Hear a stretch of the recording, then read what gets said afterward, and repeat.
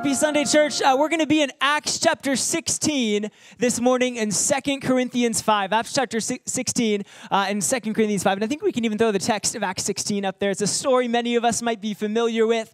Uh, Paul and Silas are in a prison, and as they sing and pray, chains actually break in that prison, and the prisoners are set free. Um, and by the way, we picked this verse for this morning before we even sang about freedom in worship. So, how many think the Holy Spirit might be speaking something to us as a church today. But before I tell the story about Paul and Silas's uh, party in the prison, I actually want to tell uh, my story about a party in the prison um, which I actually have, believe it or not. So I was uh, 16 years old uh, in Mexico on a mission trip with another church.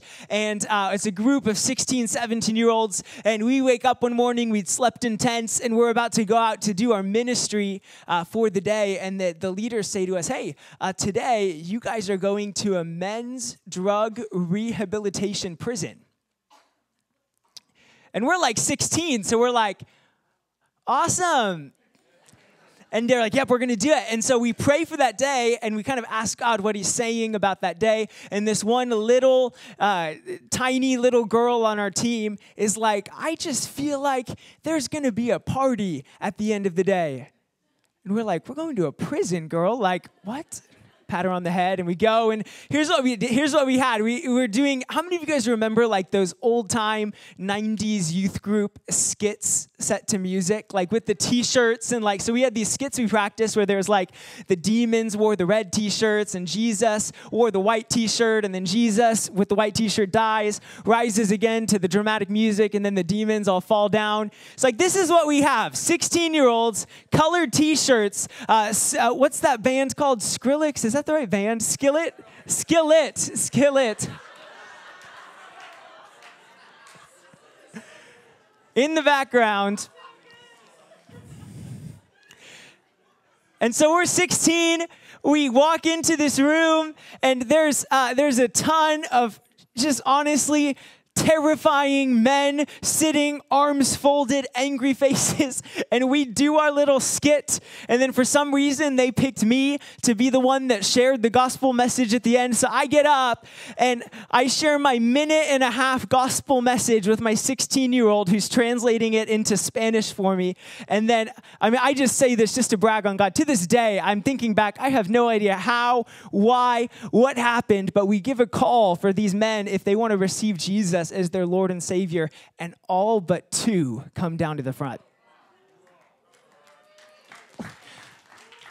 Like, I'm not saying I was awesome. Like, I'm a 16 minute and a half gospel presentation skillet. That's all it was. But then one of the Mexican uh, pastors comes and starts to lay hands and pray for these men. And God's presence comes so strong in that prison that they start to fall down in the power of God. And I start to, I ask what's happening to translate what's going on because they're starting to pray. And these men start getting delivered of demonic spirits. And I'm like, this is crazy. Like we're all just watching, and then and then uh, it goes on for a while, and then this one Mexican pastor stands up, picks up his guitar, starts to play, and the joy of the Lord starts to break out in the prison. And these men stand up and dance. And that little girl from my team is standing over on the side going, This is the party! This is the party!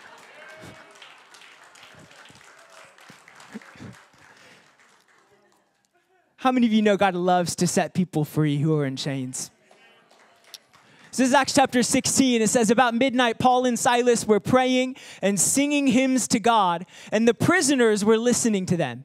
And suddenly there was an earthquake so violent that the foundations of the prison were shaken, and immediately, someone say, immediately, all the doors of the prison were opened, everyone's chains were unfastened. And when the jailer woke up and saw the prison doors wide open, he drew his sword and was about to kill himself since he supposed that the prisoners had escaped. But Paul shouted in a loud voice, Do not harm yourself, for we are all here. And the jailer called for lights, uh, which would have been probably this time torches or fire. Uh, and rushing in, he fell down trembling before Paul and Silas because he sees all the chains broken. And then he brought them outside and said, Sirs, what must I do to be saved? And so we're talking this morning, we're in a series about words, redefining words. And this morning, the word that I want to redefine for us is salvation. Everyone say salvation.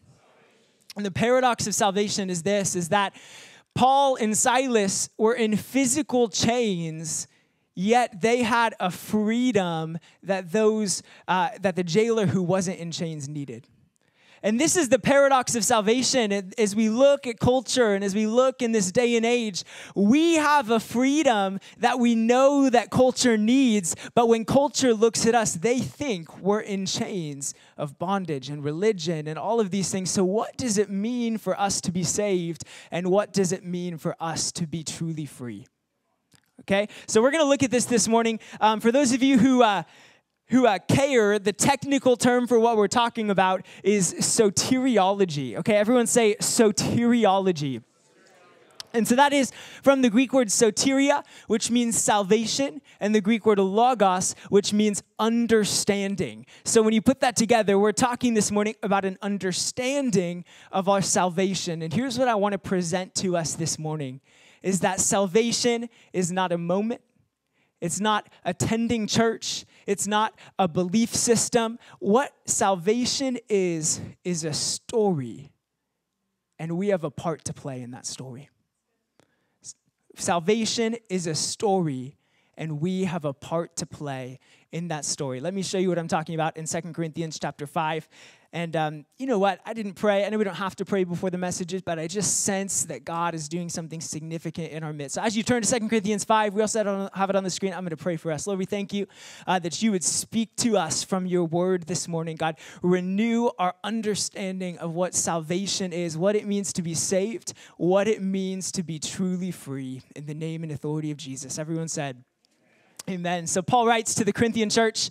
Um, Second Corinthians is a very emotional letter with lots of brilliant uh, theological turns of phrase that Paul uses. And uh, Second Corinthians five is actually one of my favorite uh, verses and sections in the Bible. In fact, many of us in the room, especially if you've grown up in church, you've probably heard this before, um, but you probably didn't know that it's a passage about salvation. So here's what Paul says. He says, So if anyone is in Christ, there is a new creation. Everyone say, new creation. Everything old has passed away. See, everything has become new. All this is from God who reconciled us to himself through Christ and has given us this ministry of reconciliation. Just to make sure we're tracking here, everyone say, ministry of reconciliation. There we go. That is, in Christ, God was reconciling the world to themselves. And then if we skip forward to the end of this section, uh, Paul actually quotes the book of Isaiah, and he says, At an acceptable time I have listened to you, and on a day of salvation I have helped you. See, now is the acceptable time. See, now is the day of salvation. And so, what Paul does is he redefines salvation for the people he's writing to, not as a moment, not as attending church, not as a belief system, but as a story of creation, separation, Jesus Christ, redemption, and then becoming ministers of reconciliation. So I want to illustrate this just a little bit. Um, so I actually made a, uh, a chart because um, I, I love making charts. Just be honest, how many of you love making charts? My poor wife, I'm so sorry. The other day we were on a date in Sacramento and I was so excited to show her my new chart that I made. Do you remember that? And we sat down. Yeah, you loved it. I know. So I made a chart to illustrate this. So here, here's, here, here's, here's what I made, this little diagram here. So we have kind of this timeline here. And on this timeline, at the beginning is Genesis chapter 1, creation. How many of you have read or heard Genesis 1? In the beginning, God created. So that's creation. And then on the other side, at the end of the story, Revelation chapter 22, we have something called new creation okay? And uh, many of you might have heard of new creation be referred to as heaven. Uh, I, it's a longer than I have time to explain here, but what heaven actually is, and I've suggested that maybe Pastor Brandon could preach on heaven at some point in these series to redefine what heaven means according to a biblical worldview. How many of you want to hear Pastor Brandon preach on heaven? Come on, come on. I'm just.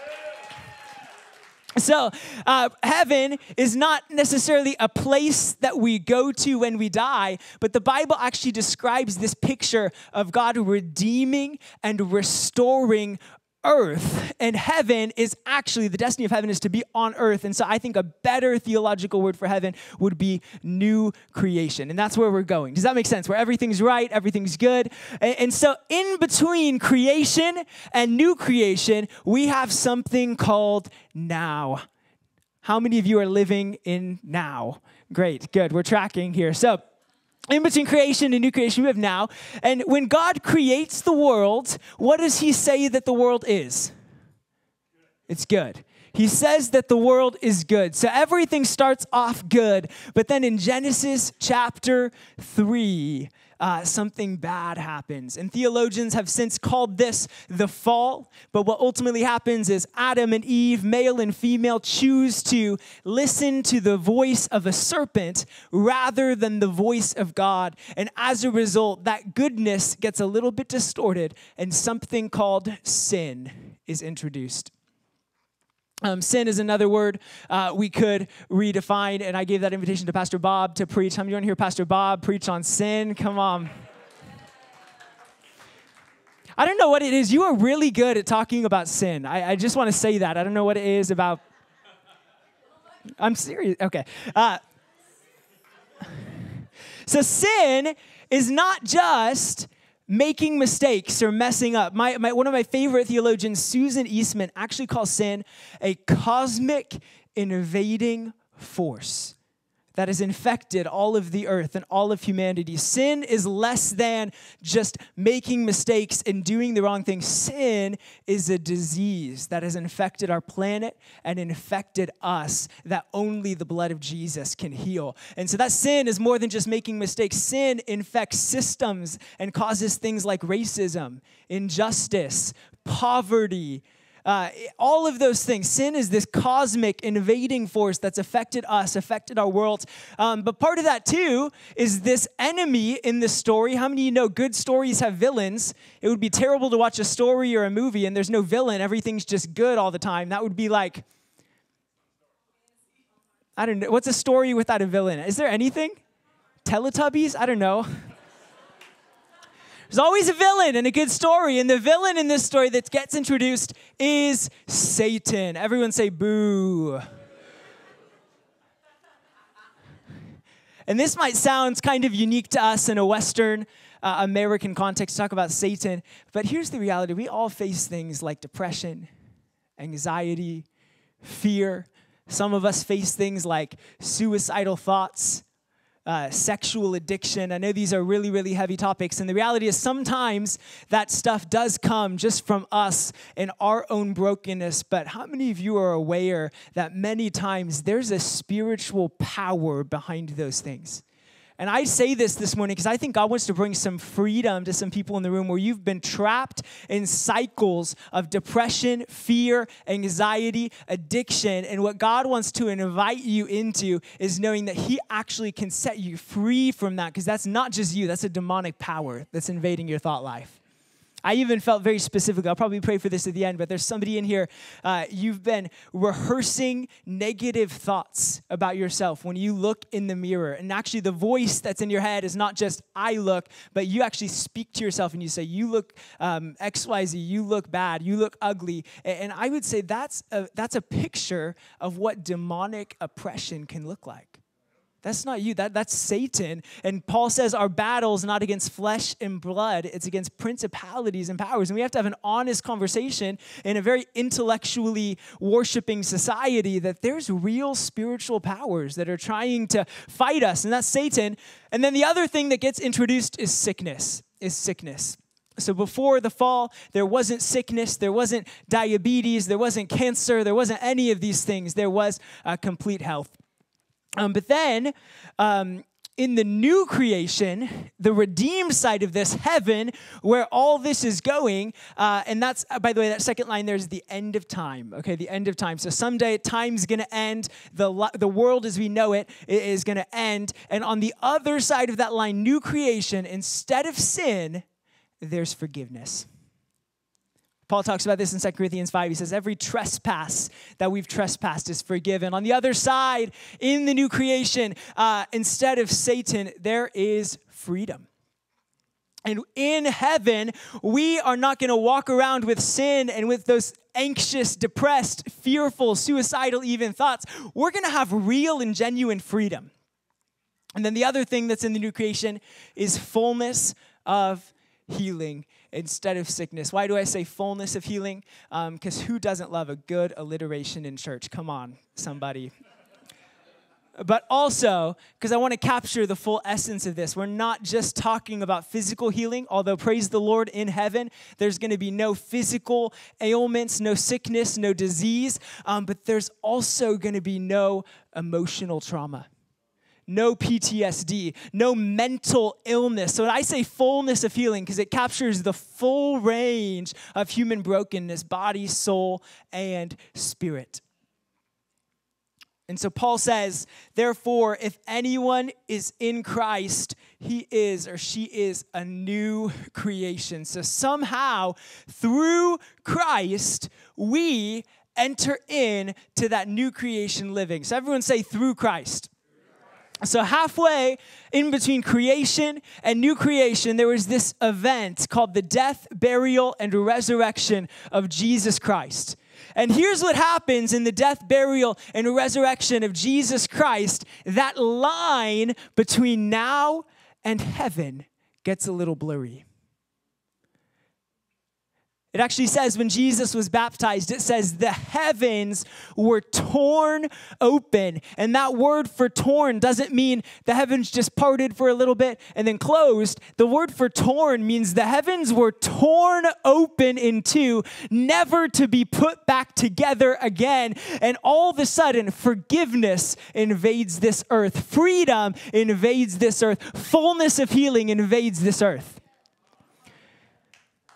And so that's what Paul's talking about in 2 Corinthians 5. He says, through Christ, this veil, Pastor Brandon even read it in worship this morning, this veil between us and heaven has been torn. And where there's sin, we have an opportunity to proclaim forgiveness. Where there's Satan, we have an opportunity to see demons flee. And where there's sickness, we have an opportunity to pray for fullness of healing.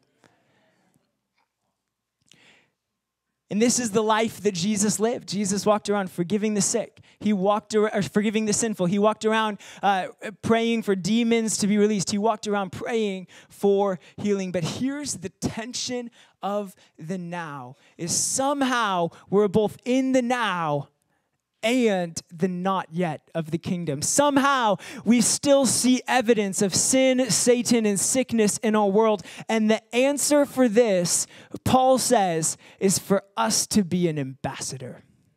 Everyone say ambassador. So, an ambassador is somebody who represents the value system and government of one country in another country.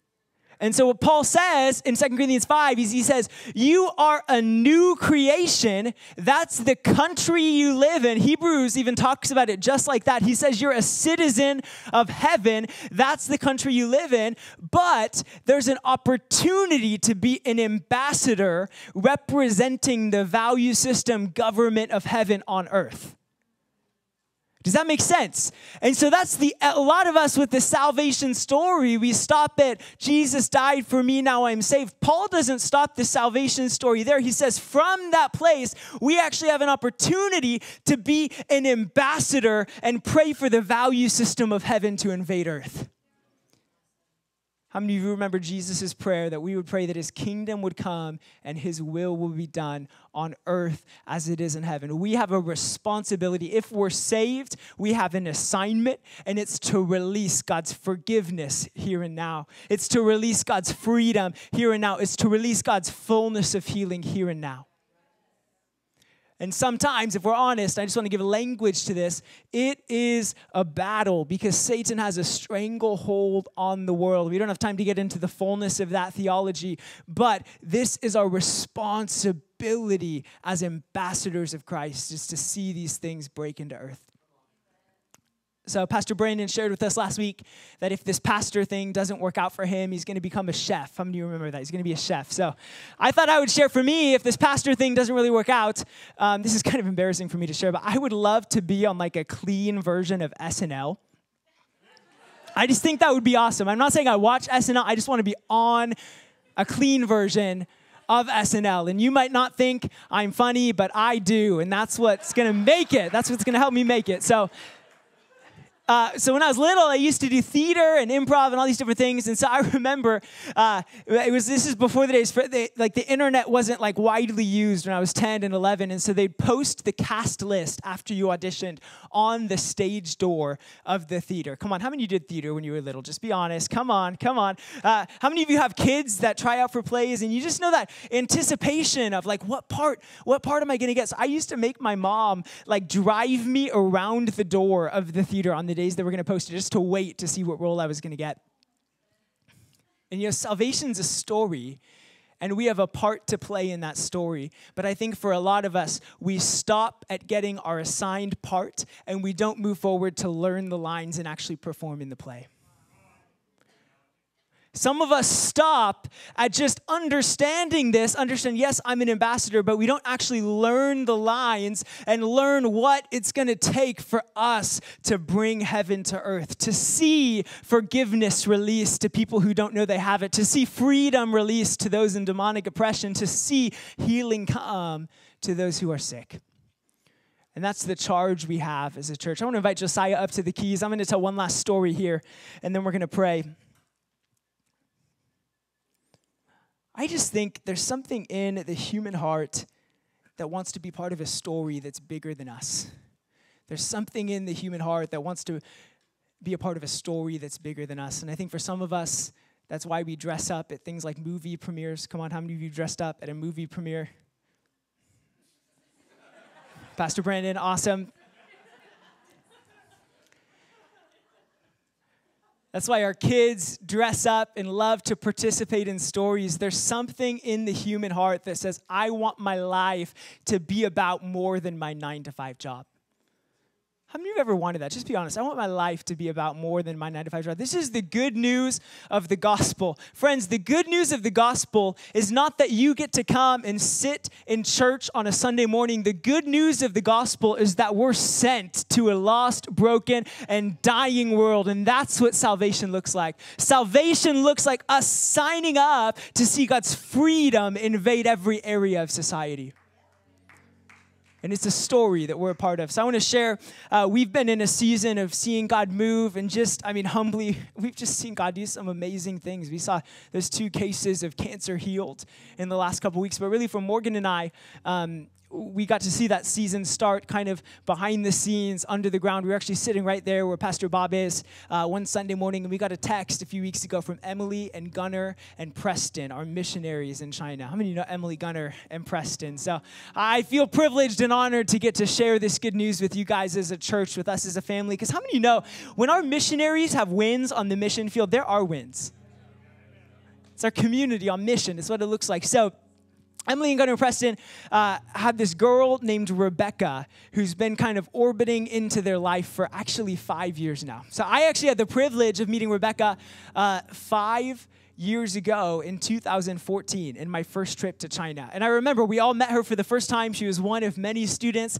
And when we were leaving, she got us all these like gifts and Chinese masks and little elephants. And I was like, it's kind of weird. You like us too much, but oh well. Then we left. Uh, Emily and Gunnar went back on a later trip. They took a team the next year, uh, interacted with Rebecca again in 2015. And then I think they moved there in 2016. Is that the right year, 2017? 2017, they moved there. Rebecca is still around. Rebecca starts to come over to their house for lunch, come over to their house for dinner. Uh, and so I talked to Emily and Gunnar about this. They have literally had 40 conversations with Rebecca about Jesus in the last five years. And I believe that's true because I've been a part of some of them. Kirsten's been a part of some of them. Morgan's been a part of some of them, just talking to her.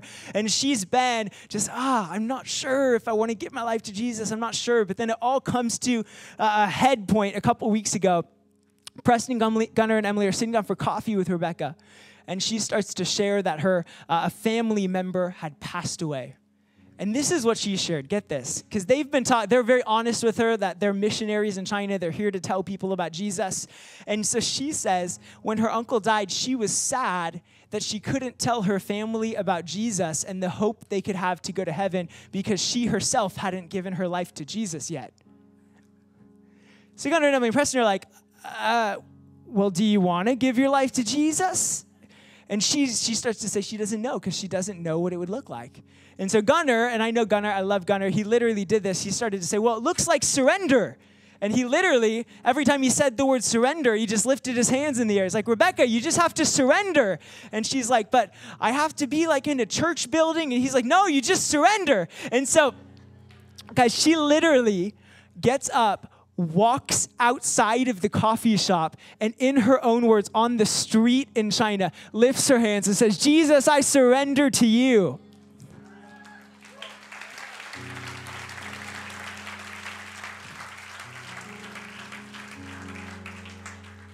So Emily Gunnar and Preston get on their knees. They have a spontaneous worship session on a street in China where it's quite illegal to do all of these things. They go and baptize her in the river by her house, and she's been strategizing with them about what it's gonna look like to see her family come to Jesus. Friends, if we're saved, we have an assignment. Salvation is not just attending church, it's not just believing the right things, saying the right things. There's a call on us to be ambassadors for Christ. Let's stand together. I just want to invite the prayer team to come forward and line the front. Um, we, I think we're going to have a lot of prayer needs today, so I want to invite also, especially youth leaders um, to come down to the front. Thank you, Lord. Can we just close our eyes all across the room? Maybe even put our hands out like we're going to receive a gift. We're just going to spend a few minutes here responding to the voice of the Lord, and then we're going to go. Don't worry, it won't take too long. But Holy Spirit, we just invite your presence to fill this place. Thank you for your sweet presence. Can you just say that? Just pray that under your breath. Just say, Holy Spirit, help me be aware of your presence in this room. Yeah, thank you for your freedom, God. Here's what I want to do a way to simplify the word salvation could just mean freedom. Freedom. Where the Spirit of the Lord is, there is freedom.